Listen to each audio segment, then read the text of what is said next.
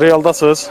Azərbaycan xalqının tarixi yaddaşına dərin hüzün, eyni zamanda milli qürur və qəhrəmanlıq salnaməsi kimi yazılan 20 yanvar hadisəsinin 31-ci il dönümü ərəfəsindəyik. Artıq ziyarətçilər Şəhidlər Xiyabanına gələrək vətənin azadlığı, bütövlüyü uğrunda canlı qurban vermiş şəhidləri ziyarət etməyə başlayıblar. Onlar öz dərin ehtiram və hörmətini göstərərək əllərində qərənfil dəstəsi ilə şəhidlərin ziyarətini həyata keçirirlər.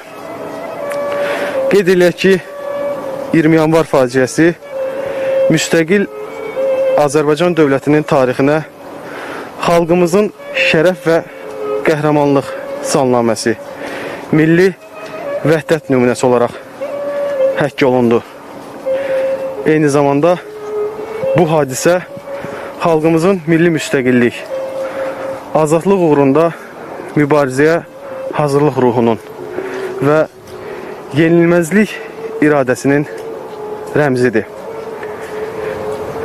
Bildirim ki, 20 yanvarda Sovet ordusunun cəza tədbirlərinə qalan xalqımız diz çökmədi. Azadlıq əzmini itirmədi.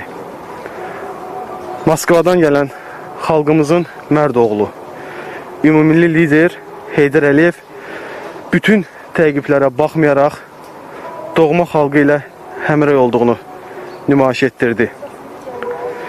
20 yanvar faciəsi həm də xalqımızın milli vəhdət nümunəsi olaraq yaddaşlara həkk olundu.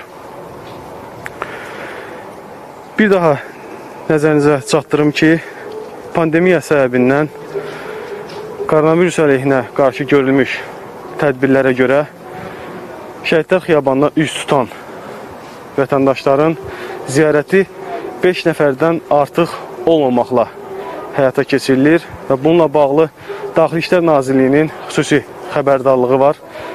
Bura üz tutan vətəndaşlar ziyarətini həyata keçirdikdən sonra xiyabanı tərk etməlidirlər.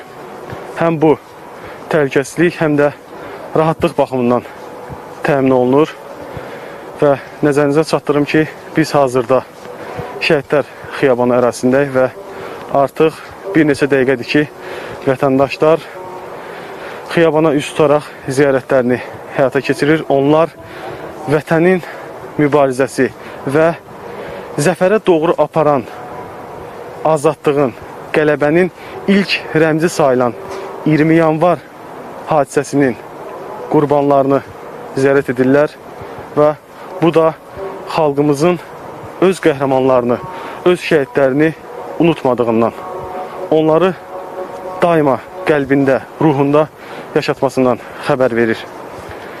Bir sözlə deyə bilərik ki, onlar bizim üçün ölsələr də biz onları hər zaman qəlbimizdə yaşadacağıq. Realı izləməkdə davam edin.